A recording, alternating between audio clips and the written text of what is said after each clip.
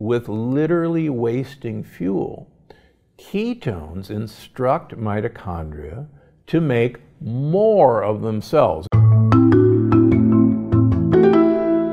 Welcome to the Dr. Gundry podcast. Okay, first things first, I was wrong. And I'm not the only one. Turns out health professionals around the world were wrong about how the keto diet works. But you know what? I embrace finding out that I'm wrong. In fact, it actually motivates me. It's why I do what I do, to empower you with the latest and greatest science discoveries so that you can live a long, healthy, fulfilled life. You see, I'm actually committed to researching. That means continuing to look again. That's the definition of research at our current mainstream health beliefs in search of the truth. So today, I'm excited to share this groundbreaking research with you today. Plus, I'll give you a sneak peek of what's inside my new book out today, Unlocking the Keto Code. So we'll be right back. You're not going to miss this one where I tell you how all of us were wrong about keto and its effects. We'll be right back. Welcome back. Now, don't be fooled by the title Unlocking the Keto Code. Even if you're not interested in keto, this book, with my latest findings for optimizing health, is really Longevity Paradox 2.0, or as I like to call it, the real key to the fountain of youth. And it's not what you think. And it really comes down to just one thing, like the line in City Slickers. First, let's discuss what exactly is the keto diet. Well, there are so many versions of the keto diet that the mind really can't get itself around the whole concept. There's traditional keto, there's dirty keto, there's cheating keto, there's high fiber keto, there's high protein keto, there's muscle sparing keto, there's protein sparing keto. How does anybody know what keto is anymore? Well, the traditional keto diet was actually developed as a treatment for epileptic children before any of the anti seizure drugs were available. And that diet started in the 1930s, and it utilized an 80% fat diet, a 10% carbohydrate diet, and a 10% protein.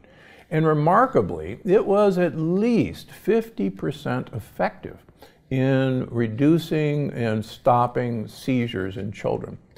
Uh, it fell out of favor when drugs like dilantin and phenobarb were invented, but it actually had a resurgence a few years ago with the finding that you could give kids MCT oil, medium chain triglycerides, at a much lower amount of fat dose, say a 50% fat diet, and give them more carbohydrates and more proteins. Now, why do that?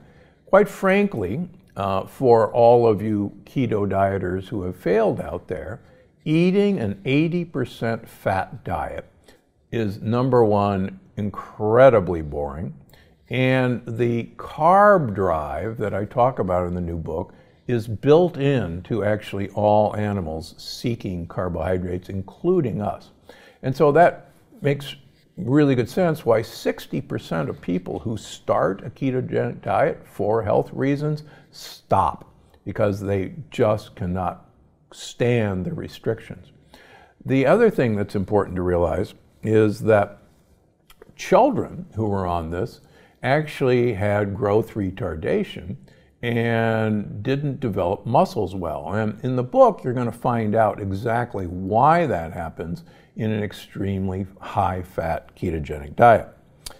Okay, as most of you know, I've been recommending a ketogenic version of the Plant Paradox program for uh, over 20 years now. And in the Plant Paradox, it's chapter 10, the Keto Intensive Care Program.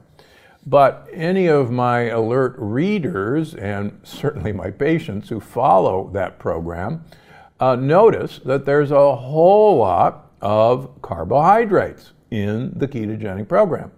And a lot of people don't question that, but a lot of people who think that you have to eat an 80% fat diet to achieve ketosis wonder why my ketogenic program is so easy to follow and so effective. And in fact, I profile one of my patients, Janet, at the start of the book to show how following the principles of that program, she not only effortlessly lost weight, reduced her prediabetes, reduced her cholesterol numbers, but she was so successful that she actually wanted to start to gain weight. And we go through why she actually found it difficult to gain weight. And that's actually one of the things we're going to unlock in the keto code.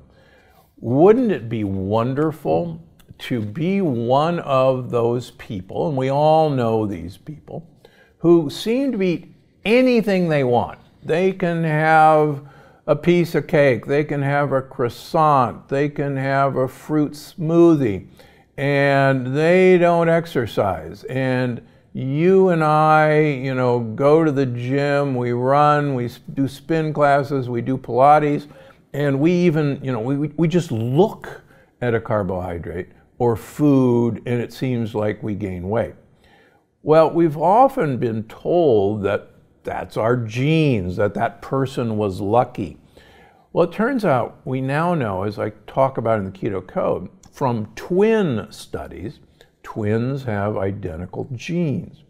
And in twin studies, it's been found that where one twin is overweight or obese and the other twin is normal or skinny, they have the identical genes.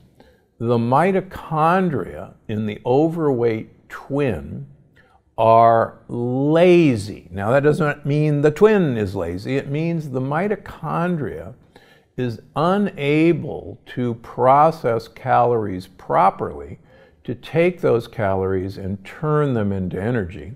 Instead, the mitochondria takes those calories and stores them as fat. And what we've learned about the skinny twin and the skinny folks that you hate is that their mitochondria have actually adopted a way of wasting a lot of the calories that these people eat. And the whole principle of unlocking the keto code is telling you how those mitochondria have been trained to waste energy. And that's the excitement.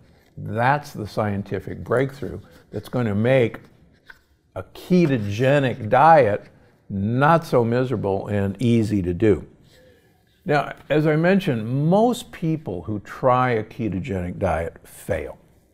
It's actually not your fault, it's not their fault. I profile another one of my patients, Miranda, who came to me after two years, two years on a ketogenic diet.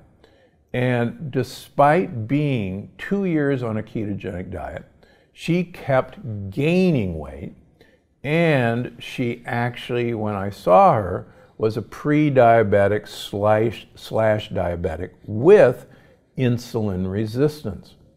And how could that possibly happen in a ketogenic diet?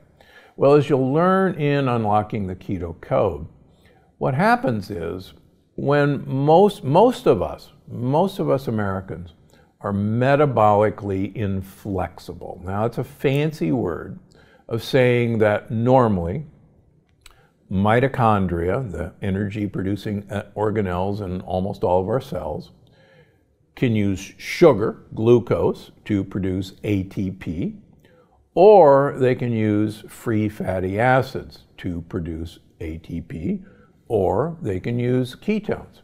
And normally, when you stop eating, within eight hours of stopping eating, you should shift over to burning free fatty acids as a fuel.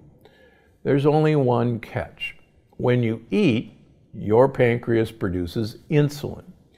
Insulin takes the food you eat and knocks on all your muscle cells and your other cells as a salesperson and says, hey, this person just ate some great stuff. I want to sell you this sugar. I want to sell you this protein. Your cells normally say, hey, great, you know, we're hungry, open the door, bring it in. When you stop eating, normally insulin should fall because now there's nothing to sell. When insulin falls, insulin not only ushers food into cells, but think about it. If you're trying to store food after you ate, you wouldn't want to bring it back out of the cells and the fat cells. You'd want to keep it in storage. So when insulin is elevated after you eat, you won't bring that stuff right back out. That's silly. But in, when insulin falls, then you actually activate an enzyme that brings fat out of fat cells so that you can use it as a fuel. Now, here's the problem 50% of normal weight individuals in the United States have no metabolic flexibility. They have no ability to go get that fat out of fat stores and use it as fuel because they have elevated insulin levels. 50% of normal weight people. Now, here's the really bad news if you are overweight, 88% of you have no metabolic flexibility. You cannot get that fat as a fuel out of your fat cells because an elevated insulin level is stopping you from doing this. The worst news if you're obese, 99.5% of individuals have no metabolic flexibility you may have all that fat and you can go on a ketogenic diet where you're not eating carbohydrates, where you're not eating much protein, but you have an elevated insulin level, and that elevated insulin level may stay elevated for a very long time, and you have all that fat stored already and you cannot get to it. The other bad news is fat has nine grams, uh, sorry, nine calories per gram of food. On the other hand, carbohydrates and protein have four calories per gram. So when you're eating a super high fat diet, you're actually getting twice the amount of calories by weight of carbohydrates and proteins.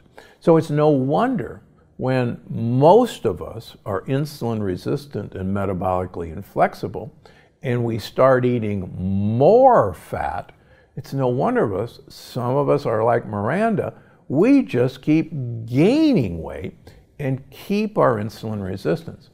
And the benefit of unlocking the keto code is there's a way we can trick the system, we can hack our insulin resistance without resorting to a high fat ketogenic diet to try and do it.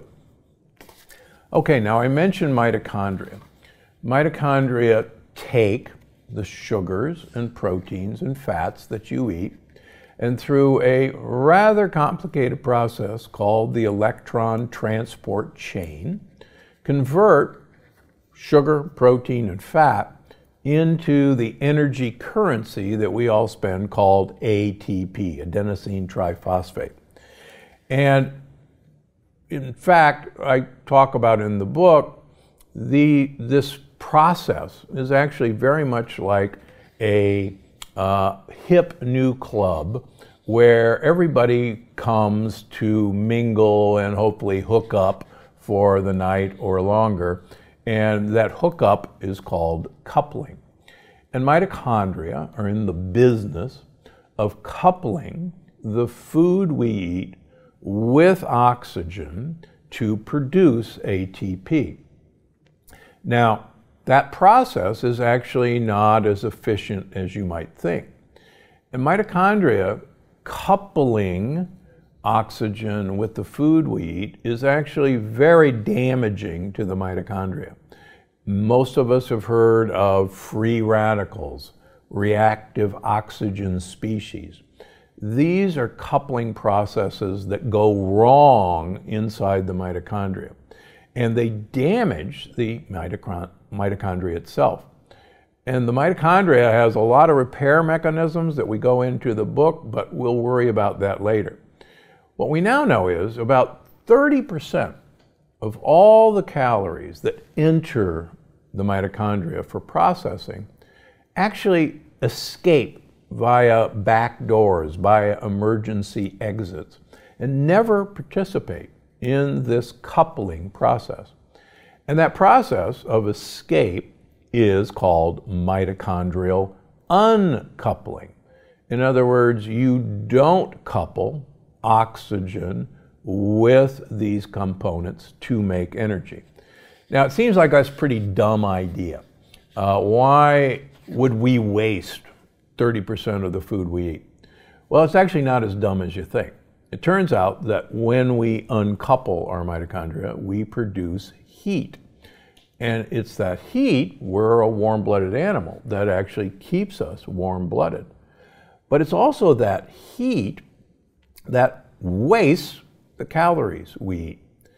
And lo and behold, in unlocking the keto code, you'll find out that ketones are not some super fuel. In fact, they're not. This is well known from human research dating back to the 1970s and confirmed as early as the early 2000s in humans that ketones are a horrible fuel for our mitochondria, and in fact are a horrible fuel for our brain. Just one fun fact human beings at full ketosis, only 30% of the energy needs of our cells can be met with ketones. Only 30% at full ketosis. Even the brain can only use 60% ketones as a fuel.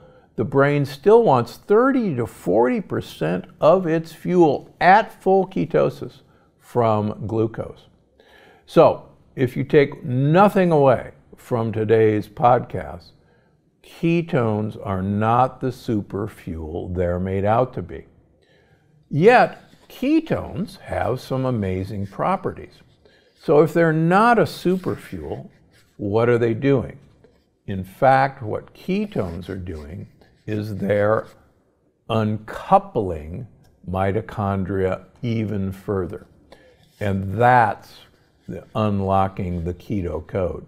You don't want to make ketones as a super fuel. You want to make ketones as a mitochondrial uncoupler.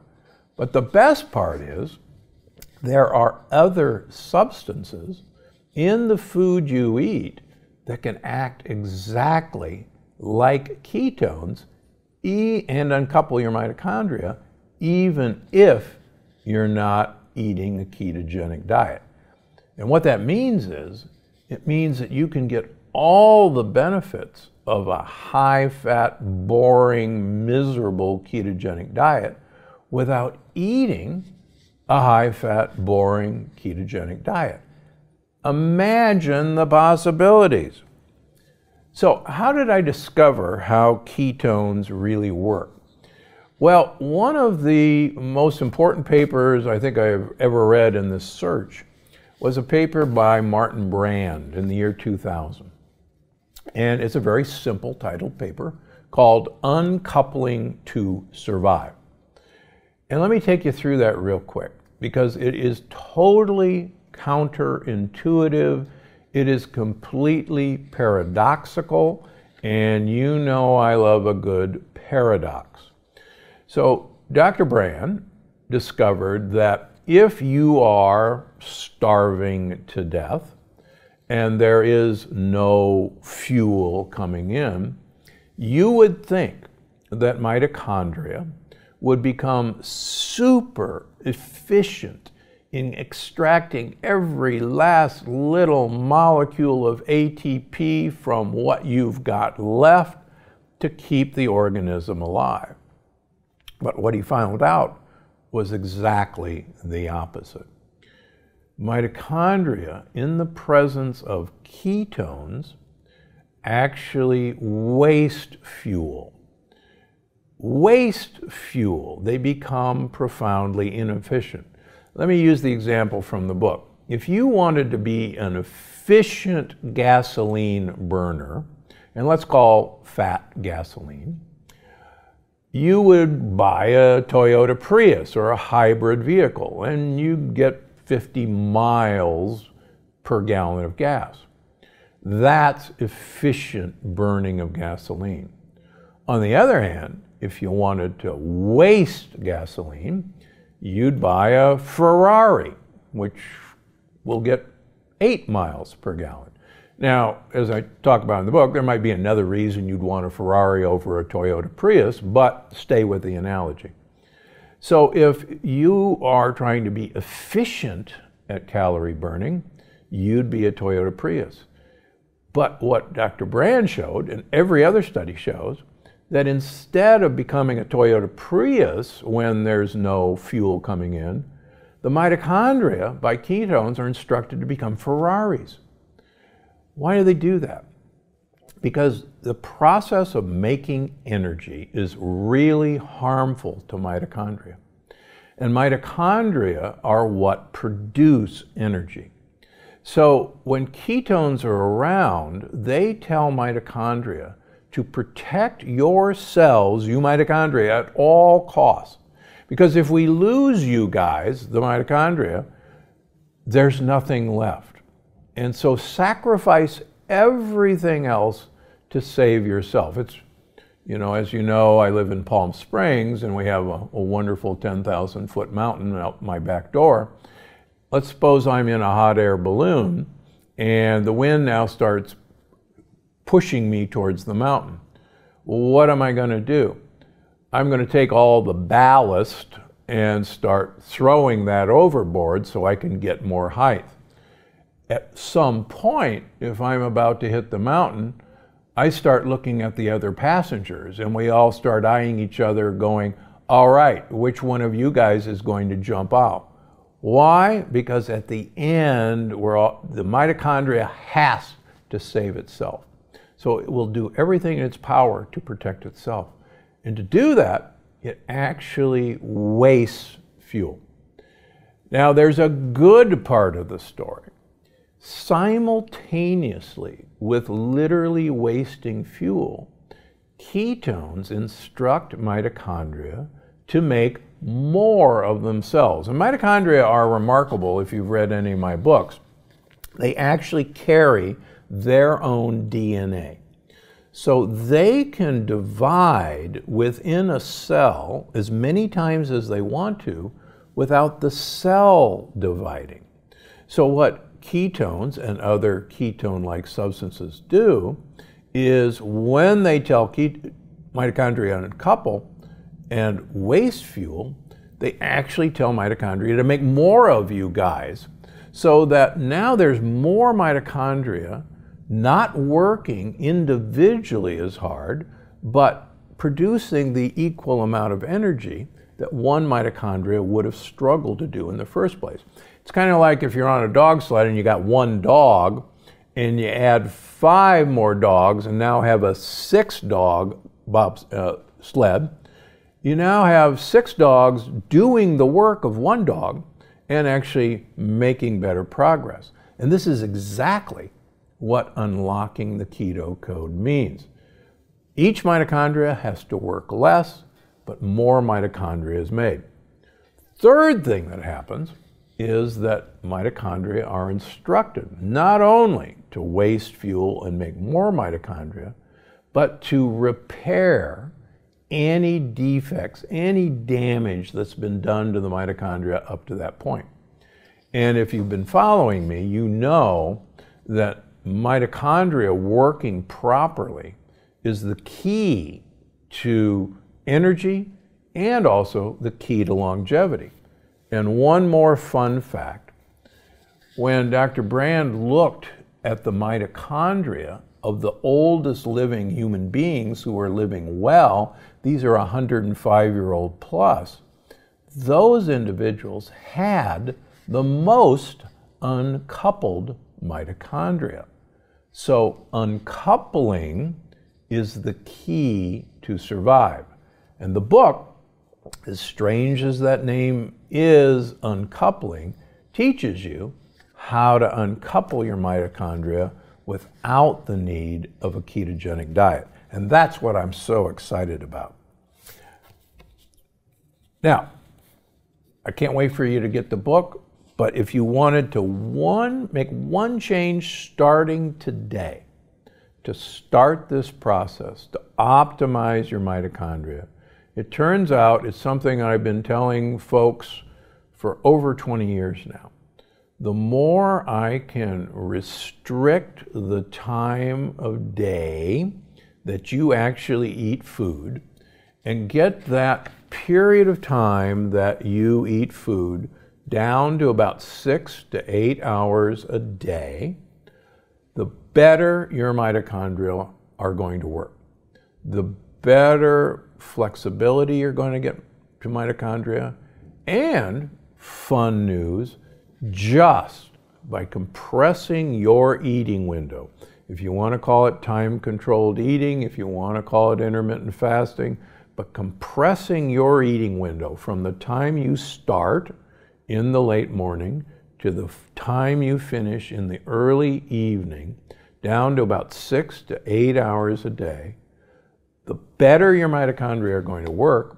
And from human athlete studies, the more weight you're going to lose, even though you're eating a full day's calories.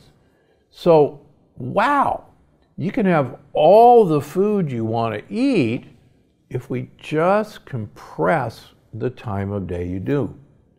And in the book, I'm going to walk you through an easy way where one hour a week, we're going to push back the time we eat breakfast. And we're going to do that for five weeks. Good news, you're going to take the weekends off. So, and you're going to find that it's really easy to transition from eating three meals a day to eating two meals a day, but getting all the calories that you would have gotten from the three meals a day. And you're still going to improve mitochondrial function and you're going to automatically lose weight because you've actually training your mitochondria to do a caloric bypass on the food you eat. It's so exciting. You know, I can't wait for you to get unlocking the keto code. So that's a teaser for the new book. Start today. If you eat breakfast at 7 o'clock tomorrow for the rest of the week, start at 8 o'clock. Take the weekend off. Next week, instead of 8 o'clock, let's go to 9 o'clock do that all week. By then, the keto code will arrive and you'll have the complete set of information on how to do it. All right, Unlocking the Keto Code book launch happens today. Please get a copy wherever you get your books Amazon, Barnes and Noble. You can go to your local bookseller. As you know, I have multiple New York Times best-selling books. They should have it, and they should have my other books as well. But get unlocking the keto code. It's secretly longevity paradox 2. And as you're going to learn, there is just one thing that binds all the great diets together, and that turns out to be mitochondrial uncoupling. And the stuff you're going to find that uncouple your mitochondria and the foods you eat is going to blow your mind. It's, uh, it's actually really exciting. I can't wait for you to get it. Okay, it's time for our audience question from Bulletproof Coconut on Instagram. What are your thoughts on hard ketones? Well, it turns out most of you probably have never even heard of hard ketones. There happens to be a beverage company that makes a seltzer uh, which is an alcoholic drink. But the alcohol is a half ketone, which in some circles is called a hard ketone. Uh, believe it or not, it is still an alcohol, uh, but it's an alcohol that when our body uses it, it appears as a ketone and it makes beta hydroxybutyrate. I personally have absolutely no experience with the product. It is advertised on the internet.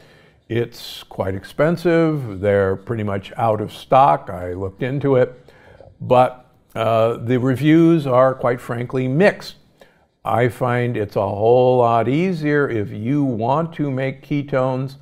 Believe it or not, all you got to do is take a tablespoon of MCT oil. You can swallow it, you can put it in your coffee, you can mix it in olive oil, put it on your salad. Or, fun fact from the book, goat milk and sheep milk, and goat yogurt and sheep yogurt, and goat cheeses and sheep cheeses. 30% of the fat in those uh, animals, milk, is medium chain triglycerides, MCTs. And you're going to find out how easy it is to generate ketones just by having MCT or having goat and sheep cheese without having to pay an arm and a leg for some special beverage. But that's a great question, uh, Bulletproof Coconut. Thanks for asking. Now it's time for the review of the week. Uh, Bean to all 50 from YouTube commented on the Yes No Food List lecture. After a year of going lectin free, my cardiologist asked me what I did to improve my health. I told him a little about you, Dr. Gundry, but he really didn't want to hear it. He said, Whatever you're doing, keep doing it. I'm 70 and feel better than I have for decades. Thanks, Dr. Gundry. Well, thank you, Ben to all 50.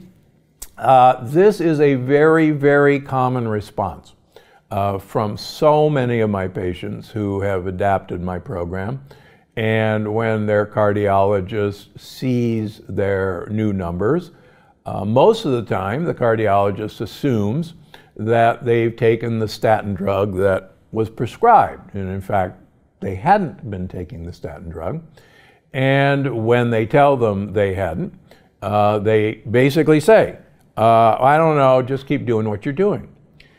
And it's really too bad because, as you know, I've, uh, I've spent my career uh, trying to teach uh, anyone who will listen, including uh, family practice doctors, internists, and cardiologists, that there might be more to heart disease and health than the cholesterol theory of heart disease. And I'll give you a quick example uh, today. Uh, from this week, uh, I saw a patient who actually uh, runs an orthopedic uh, medical practice. And this gentleman has been plagued with high cholesterol his entire life.